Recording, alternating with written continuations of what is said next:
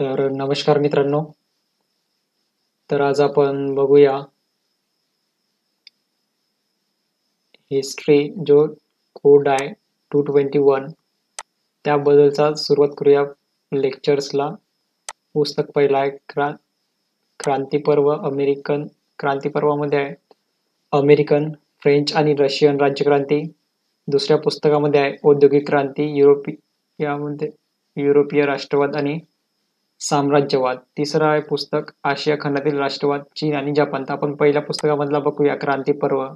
क्रांती पर्वामध्ये American राज्यक्रांती French राज्यक्रांती आणि Russian राज्यक्रांती.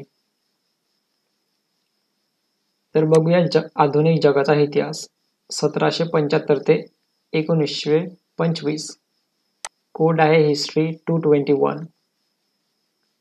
तर चला पुढे जाऊया. तर पहिला चॅप्टर आहे.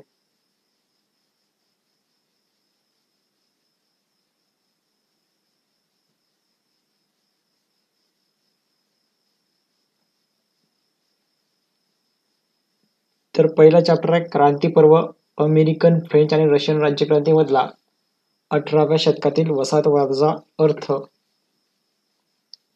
तर हा पहिला चॅप्टर बघूया.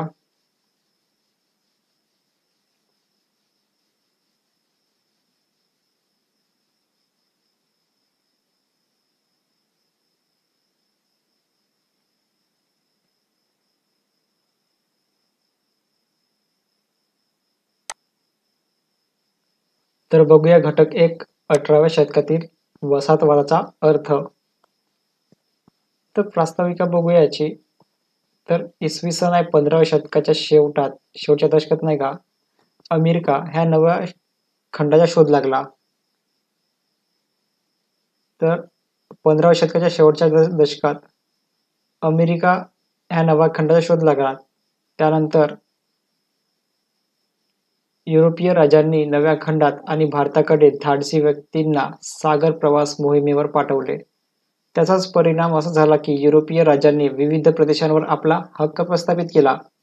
त्यातून काही युरोपीय सत्तांमध्ये अमेरिका खंडात आणि भारतात आपल्या व्यापारी वसाहती स्थापन करण्याबाबत तीव्र अशी स्पर्धा सुरू झाली की आमचीच मोनोपॉली राहिली पाहिजे. मार्केट इस्टॅब्लिश झाला पाहिजे. वसाहती स्थापन झाल्या पाहिजेत. त्याचवेळी धन लाभासाठी पैसे कमवण्यासाठी व्यापाऱ्यांनी आणि धर्मप्रसारासाठी धर्मप्रसारासाठी ख्रिस्ती मिशनऱ्यांनी नव्या प्रदेशाकडे धाव घेतली. अशा रीतीने नव्या प्रदेशात युरोपियनांना एक नवे क्षेत्र प्राप्त झाले. त्यांचा बाहेरील जगाशी अधिक संपर्क आला त्यामुळे त्यांच्या आर्थिक भर भराटीलाही जोरदार चालना मिळाली. म्हणजे तिथचे लोक अमीर होत गेले.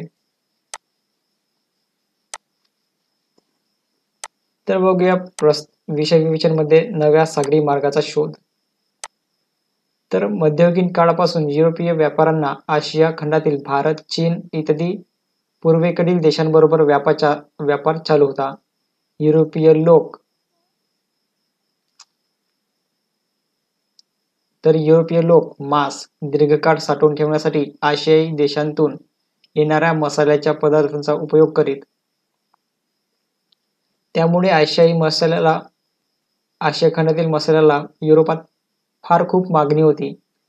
त्याचा व्यापार फार फायदेशीर फायदेशीर होता. मसाल्याच्या पदार्थांचा व्यापार प्रामुख्याने भारताच्या पश्चिम मलबार किनाऱ्यावरील बंदरातून आणून आणि मोलुक्का ह्या बंदरातून चालत असे तर मोलुक पश्चिम किनाऱ्यावर आहे. बंदर कोणता बंदर आहे? मलबार बंदर जे केरळ आहे. तिकडे केरळची किनारपट्टी गोवा ते केरळ. ती मलबार आहे. म्हणजे पश्चिम किनारा. तर ह्या बंदरातून व्यापार चालत असे. हा व्यापार प्रामुख्याने अरब आणि इटालियन व्यापाऱ्यांच्या हाती होता.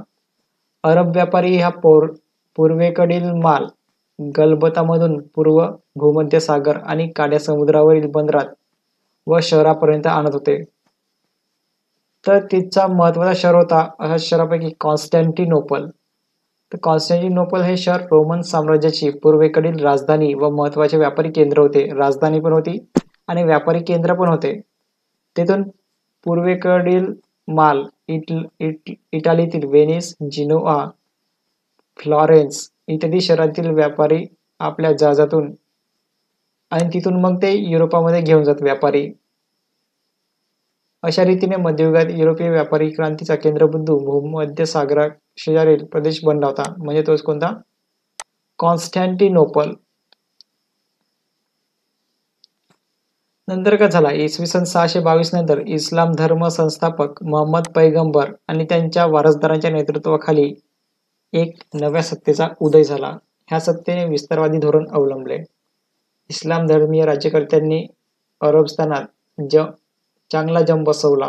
त्यानंतर उत्तर आफ्रिका खंडावर व तेथून स्पेनपर्यंत त्यांनी मुसंडी मारली. तिथपर्यंत जाऊन पोचले भूमध्य सागरावर आपले वर्चस्व प्रस्थापित केले. त्यांनी मग पुढे ख्रिस्ती लोकांची पवित्र स्थळे ते म्हणजे पॅलेस्टाईन आणि जेरुसलेम यांवर काबीज केले. ख्रिस्ती धर्मस्थळावर झालेल्या आघाताविरुद्ध युरोपीय ख्रिस्ती राजांनी तीव्र प्रतिक्रिया व्यक्त केली. ह्या राजांनी आपली धर्मक्षेत्रे मुक्त करण्यासाठी धर्मयुद्ध सुरू केले.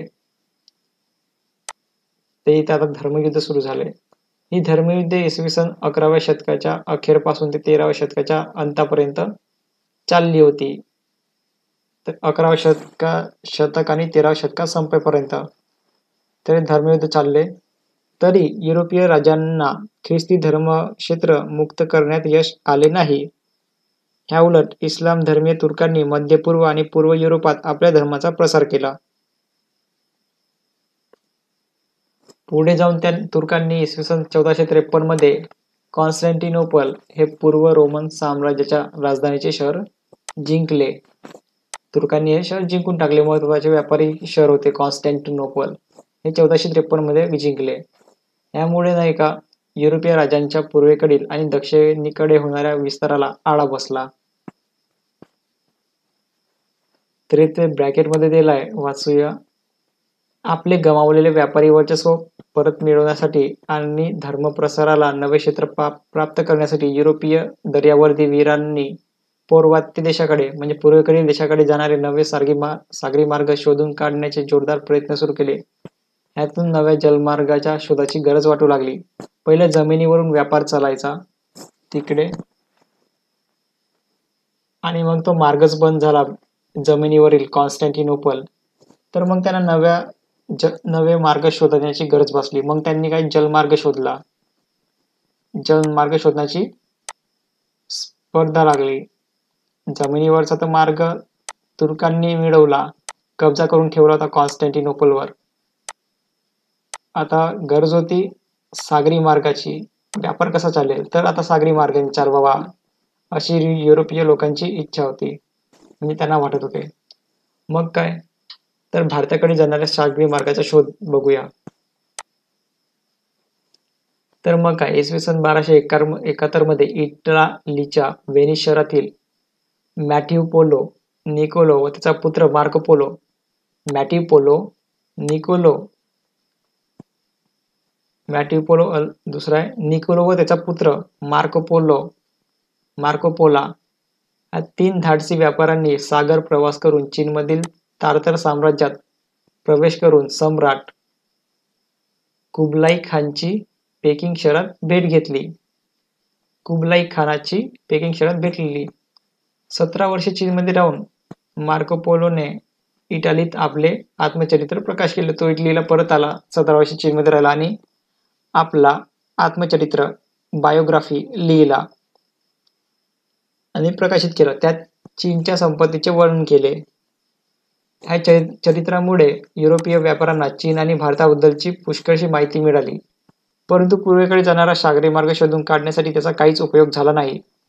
भले त्याने बाय बायोग्राफी लिहिलं पण त्याचा मार्ग शोधण्यामध्ये काही उपयोग झाला नाही. फक्त त्यांना माहीत झाला की संपत्ती आहे भारत चीनमध्ये मग काय हा वास्को द गामा आहे.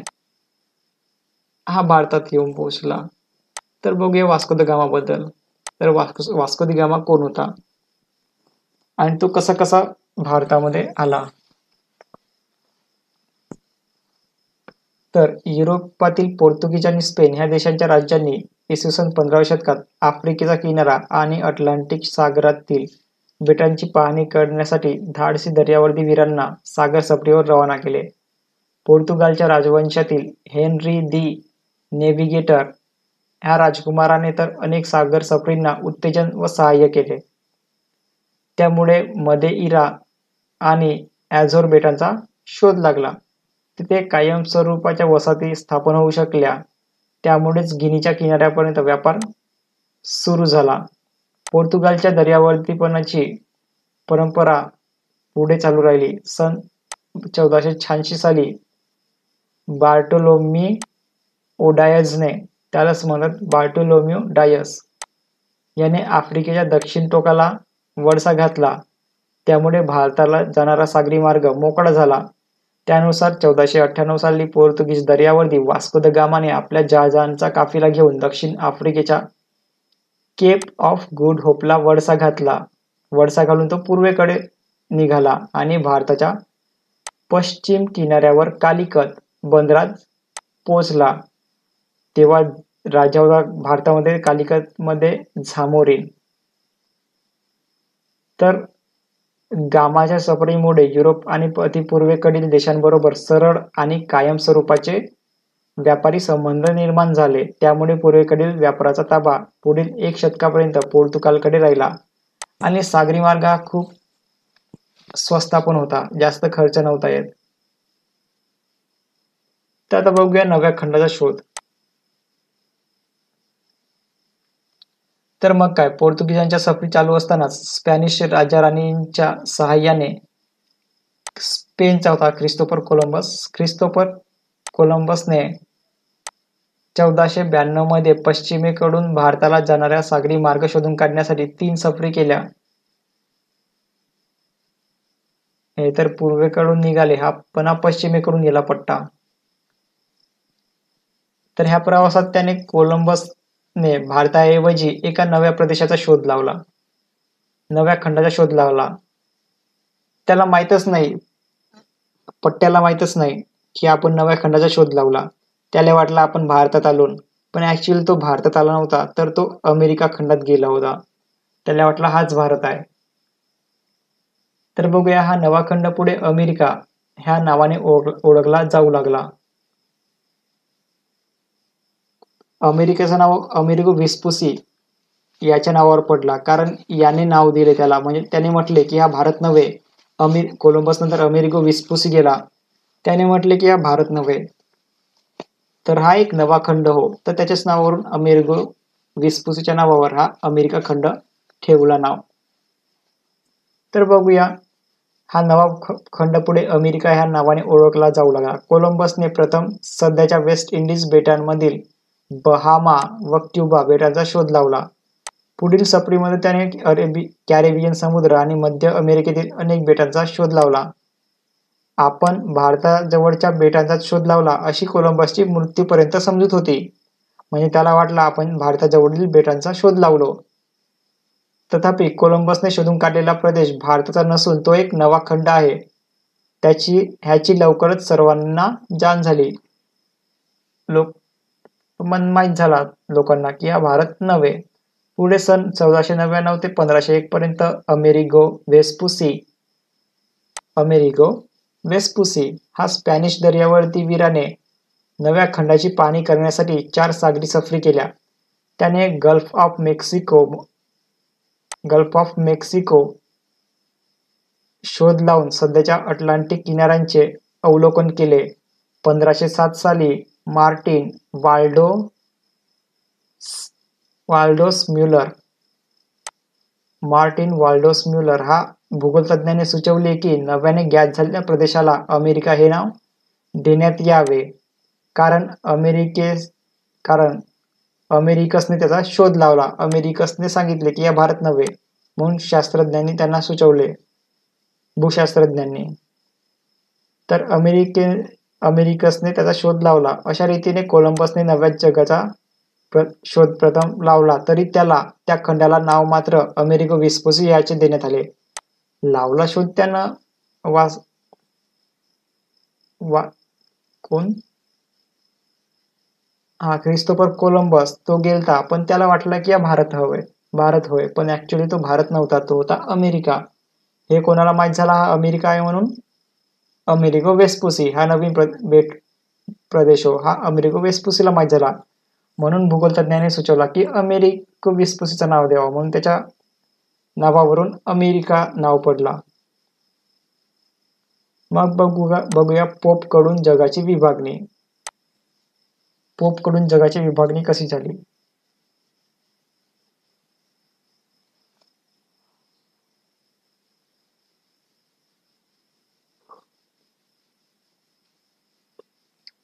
तर कोलंबसने शोधून काढलेल्या नव्या प्रदेशाच्या शोधानंतर पोर्तुगाल आणि स्पेन ह्या दोन सत्तांमध्ये जोरदार स्पर्धा सुरू झाली. ही स्पर्धा अधिक विकोपाला जाऊ नये म्हणून ख्रिस्त धर्मप्रमुख प्रो पोप सहावा अलेक्झांडरने इसवी सन चौदाशे त्र्याण्णव साली नव्याने शोधण्यात आलेल्या देशाची दोन गोलार्धात विभागणी केली. त्यानुसार एझोर बेटाच्या पश्चिमेकडे तीनशे पन्नास लीग अंतरापासून एक रेषा कलपुंतीच्या पश्चिमेकडील सर्व प्रदेश पश्चिमेकडील सर्व प्रदेश स्पेनला दिला. त्या रेषेच्या आणि पूर्वेकडील सर्व प्रदेशावर पोपने पोर्तुगालचा हक्क मान्य केला. स्पेनला पश्चिमेकडील तर पूर्वेकडील भाग पोर्तुगालला.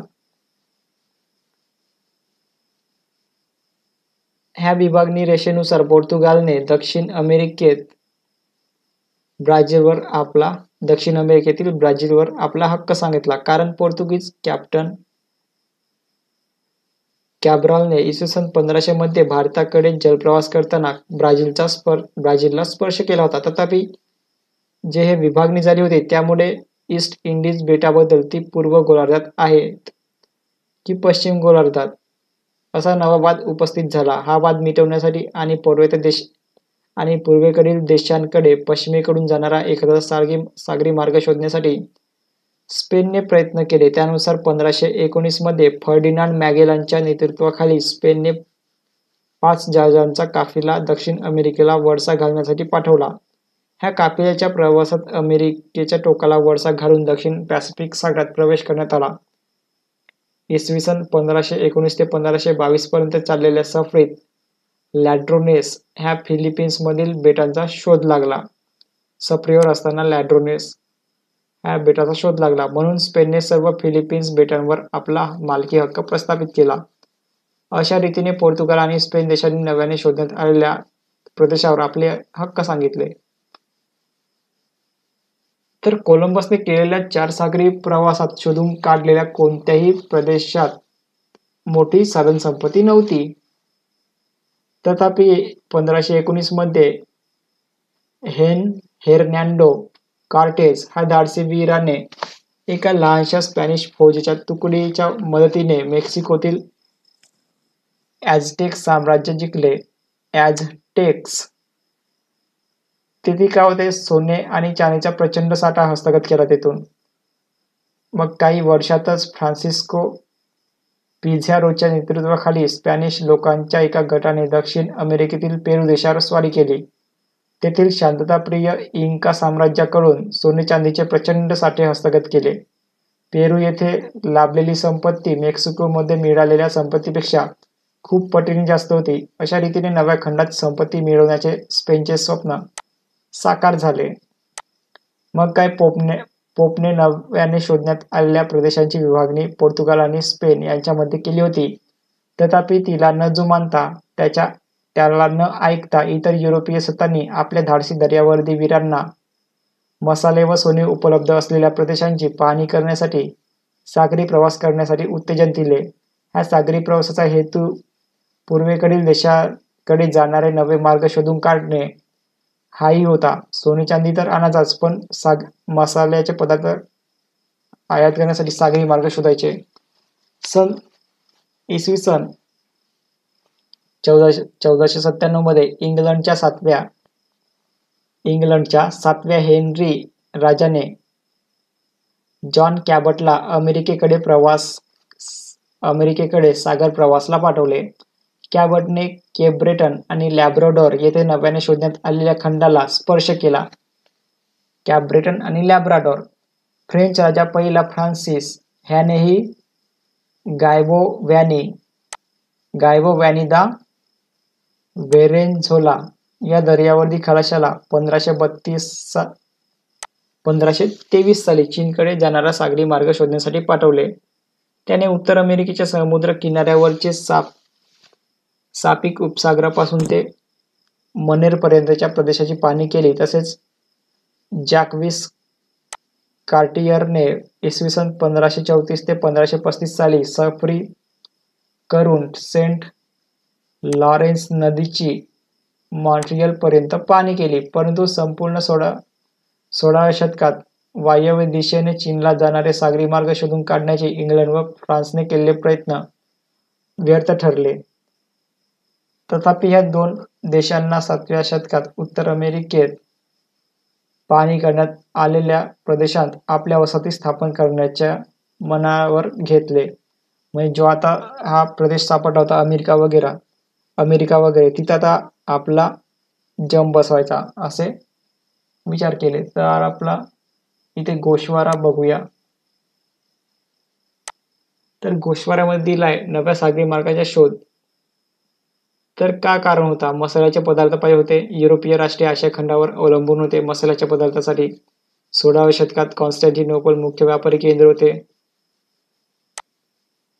ते तुर्कांनी जिंकले.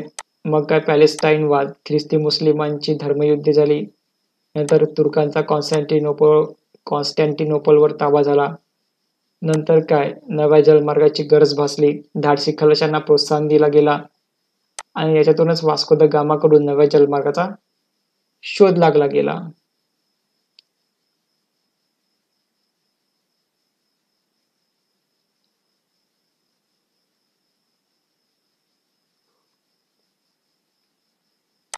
तर बघूया वसाहतवादा वसाहतवादाचा आरंभ.